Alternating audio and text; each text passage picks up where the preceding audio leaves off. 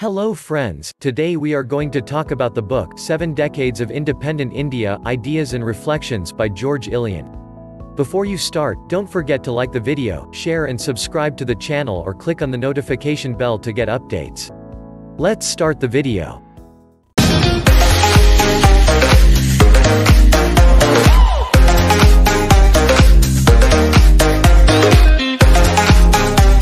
Has democracy in India fulfilled the aspirations of its people? Have institutions delivered?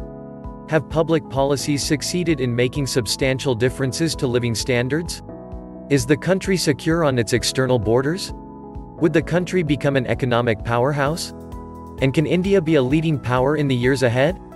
All these and many more questions loom large as India completes seven decades of independence. Major challenges persist on the economic front and in providing adequate and quality healthcare, education, food, sanitation and drinking water.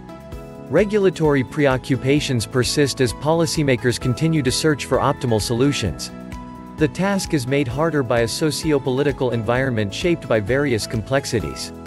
These include an expanding young workforce, a demanding citizenry, intense social media campaigns and a difficult neighborhood. Seven Decades of Independent India, edited by Vinod Rai and Amitendu Palit, reflects on the India of yesterday, today, and tomorrow, by gathering rare and candid insights from some of the most distinguished experts, practitioners and scholars on India. These include D. Subbarao, ex-governor of RBI, Rajiv Kumar, vice-chairman of Niti Aayog, S. Y. Qureshi, former chief election commissioner, Shivshankar Menon, former national security advisor, Ashok Gulati, professor ICRIER and former chairman of Commission for Agricultural Costs and Prices, Sumit Ganguly, professor of political science, Indiana University, A. K. Shiva Kumar, director, International Center for Human Development, Poonam Muttreja, executive director, Director, Population Foundation of India Tan Tai Yong, President and Professor, Humanities, Yale NUS College, Singapore, Dipankar Gupta, Sociologist and former Professor, JNU, Pronab Sen, former Chief Statistician of India and many others.